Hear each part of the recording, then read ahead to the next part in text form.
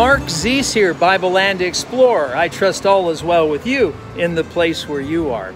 The place where I am is Athens, Greece. It's the capital of a modern country. It's a magnet for all things classical, and it's even an epicenter for some culinary delights. Oh, mercy. You just go ahead and kill me now. Anyway, we want to explore all of these in the next few weeks as we explore some of the contours of this fabulous city. So stick with us. Hey, and here's a preview of things to come.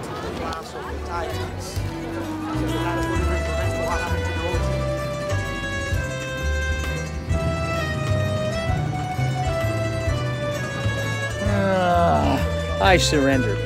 Maybe it's in the museum down below. Preach to the folks the message of King Jesus. You can see there the uh, noisemaker.